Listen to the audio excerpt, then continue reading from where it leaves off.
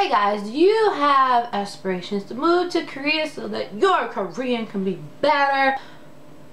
Good idea, but there are some problems and circumstances that could come up when trying to learn a language in another country or in that country some situations that come up. Now 90 Day Korean did a guest post on my blog Pink Fashion Ninja called 10 reasons why it can be difficult to learn Korean in Korea and a lot of these situations I have dealt with. So I wanted to share with you guys some of them and my personal things that have caused me problems when trying to learn and that got me off the right straight narrow path of learning Korean. So the first thing that they outlined was number one, no clear goals, which I will say, my first two years in Korea, I didn't really have any goals when learning Korean. You know, I had just moved there. It was my first time overseas. And I was just like, you know, I was only 23. I was like, oh my gosh, look at this life. it's so wonderful. I did learn Korean by like putting stickies all over everything, like te television and the wall and the ceiling and the floor and like, like pencil. I was about to say Spanish. Pencil and all these things to get as good as I could uh, about on my own or at least learn learn the basics, but I did not have a plan. So I did not have a goal. I did not have a clear, no clear goal because I was just, you know, living my life in Korea. I was just like, you know, I'm just living my life, you know, which leads to number two, no plan or set path. Now because I didn't have a set path or plan, I got distracted very easily, especially in my first two years because like, I have friends who like love to go clubbing in Hongdae. They was like, come on April. I was like, okay. So I would be in Hongdae all weekend and then work on Monday to Friday and Friday night be back in Hongdae and just, you know, live my life just fabulous. Even though I did try to learn as much as I could, I didn't have a clear goal and a set path. So my Korean just got like a little choppy or it didn't get as good as it could have been. But when I went back to Korea for the six months that I was there this year I did have a clear goal. I said you know I'm learning Korean. I'm getting better. I'm going past level one to level two because I want to start this business. That I know I need to be better in Korean.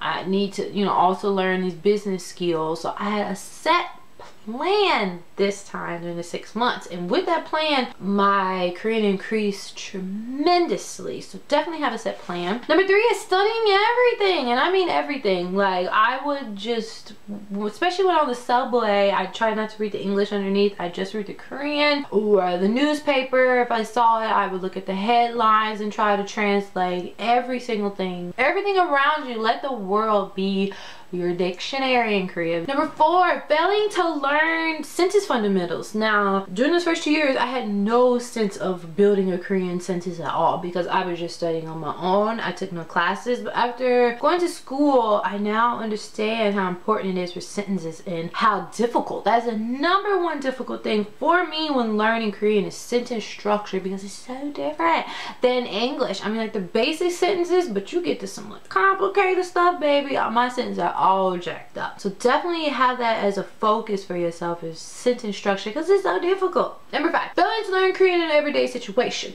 Now this one I was really good at, but when you're a foreigner and you try to speak Korean, they'll speak English back to you. And I'm just like, I'm trying to speak Korean to you. You know, I'll be like, samgyeopsal, oh dear. And they're like, what? What? What? Samgyeopsal, oh dear. What? 요? What? Samgyeopsal, where is it? I'm, dang it, I'm trying to speak Korean to you and it's real simple. How don't you understand me? I got frustrated. So sometimes I'll just be like, just go back in English. I'm like, okay, samgyeopsal. where is it? I'm like, oh my gosh, if I speak English, you won't get it. And then when I speak Korean, you want to speak English. So it could be a little bit difficult when trying to speak Korean and they want to speak English back to you, but keep strong. Number six, being afraid to make mistakes. Now, when I barely knew any Korean, my Korean was really choppy. I was like, yeah, I'm going to use Korean all the time. And I would jack up a sentence in a second. But after I got better and I and my Korean grew tremendously, I was afraid to make mistakes because I was like, oh my gosh, I should know this. You know, I'm going to say this complicated uh, sentence. What if I get it wrong? I got a lot more self-conscious after I got better in Korean. It's hard to get confident in something when, you know, you don't have that inner confidence. So about surrounding yourself with people who encourage you and having a set plan and goals to help you get along. Number seven on the list of 10 ways it can be difficult to learn learning Korean in Korea is by not choosing exciting content. Like, guys, K-pop will help you learn Korean tremendously because of Big Bang, I know Ice is autumn, autumn, autumn, hold up, na na na na na. And because of G-Dragon, and for a minute I know Michi Gachadam, Michi Gachadam, Michi Gachadam, eh, nigga Micha, or Ano Michi go, no, Ano Michi go. I know Michi is always crazy, and I know Anu means today, and how about How to Jong You, Nisun Gat, Boonia, Boonia. How Jong You every day, Nisun got, I think, Boonia, Boonia, only you, only you, so now I know. How to Jong You, Nisun Gat, Boonia. But yeah, I'm telling you, K-pop can you so much when learning Korean. And with K-dramas, people say, oh, seeing it without subtitles, just hearing it helps them. But for me, absolutely not. It's actually best for me to watch Korean dramas with Korean subtitles because what I hear is different than what I read. So if I read this and I said, oh, they said that word, but it sounded like something else, it helps train you, train your uh, ears to recognize that word when someone speaks it. So try to watch Korean dramas with Korean subtitles. For me, that helps so much because I read Korean very well, but listening, it could be a little bit more difficult in those kind of shows. So definitely do that. Eight, having a system of accountability. So if you're not learning Korean right now and you say you're going to learn it at 10 a.m. every day, you need to not let yourself have a cookie or a shake. You have to stay on it. You have to basically be your own teacher, be your own tutor, especially if you don't have any classes. Say every day at 10 a.m. I must get up and study for an hour hour. Or I am not getting any bibimbap tonight. Chapter duck.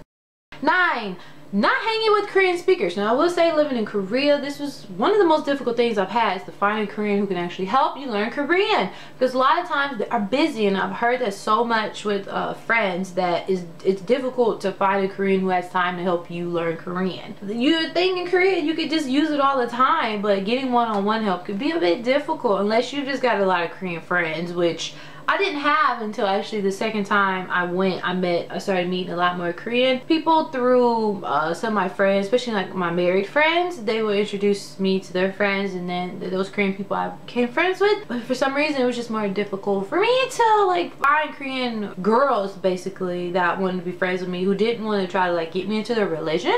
Because I find a lot of them would come off me come and find me on the street and it was like they wanted me to go to their church wanted me like to convert to their religion.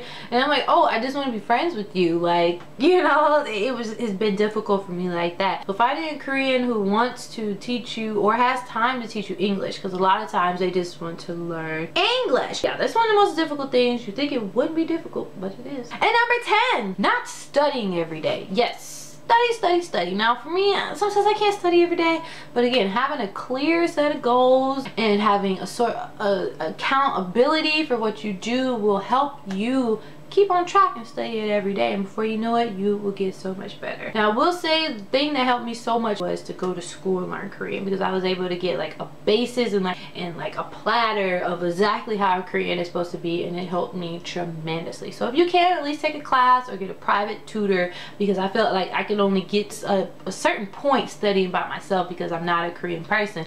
So i don't know exactly what to do afterwards and how to grow there. So definitely get a teacher and going to school will help the best. I hope these 10 tips will help you in learning Korean and Korea. It is really awesome because you get to explore and just see all of Korea and just bask in the ambiance of Korea. But don't get off track. Have fun. Get your social life on Korea because living in Korea is fabulous, baby. It's so much fun. There's always something to do, alright? So, go to Korea and make sure you stay on track. Let me know in the comments if you have any tips or anything to add to this if you live in Korea or plan to and want to stay on track and learn Korean. Don't forget to subscribe to Pink Fashion Ninja. Like me on Facebook, follow me on Twitter and Tumblr and Instagram. Peace out.